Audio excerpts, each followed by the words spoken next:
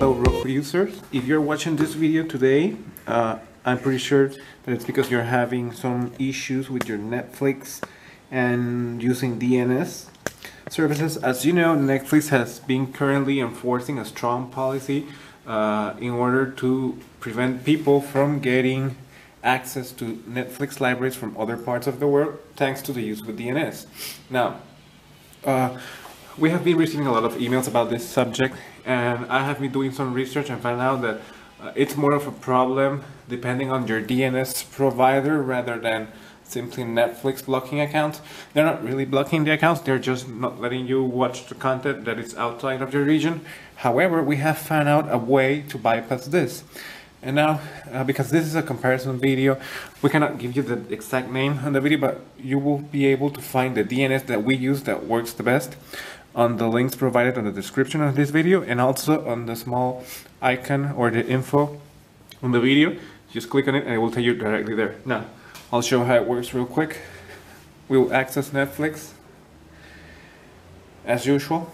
Uh, right now, we're in Central America, but we're set up on the US content.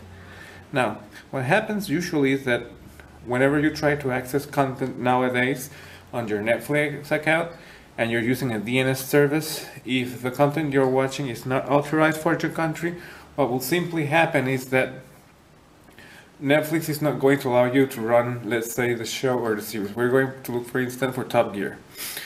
Right now we're in the US, setting it on the US, but we are on Central America in Panama. As you'll see, I'll just play the episode.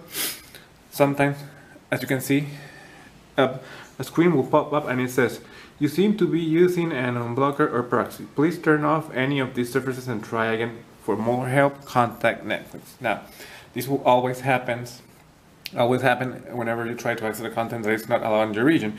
But with our DNS, the one we strongly recommend you, and as we previously said, you can find it on the video, we only have to go to, I'll show you very quickly here, to our account, and you'll see that I have to first get out of Netflix, right?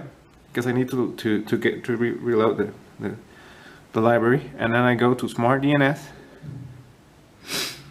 Let me see if it's updating, okay.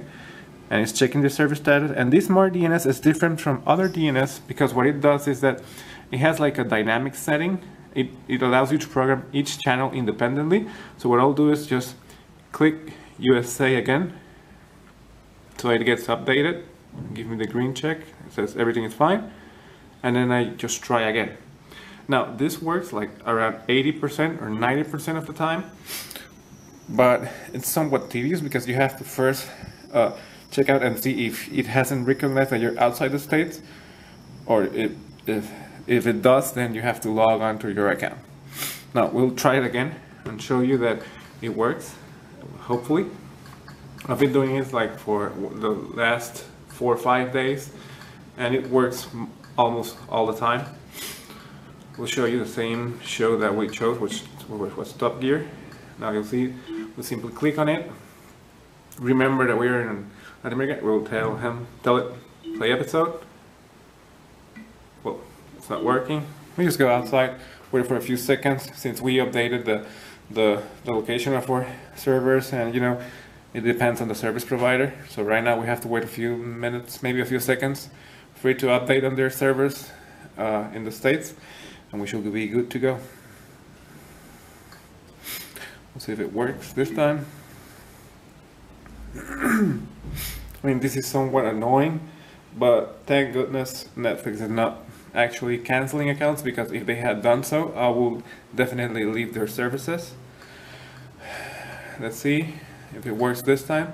Sometimes you have to try two or three times, but once you update your DNS on your account, it should work fine. Let me go again. I'll just go for the show. Sorry for the problems here. We'll try it one more time. It should be working, hopefully. I'll just show you. Right now it's taking some time because what it's doing is it's trying to follow the trace of the new server. And that's the good thing about our DNS. It's because it's dynamic. Okay, let me just pull up. Now you can see that we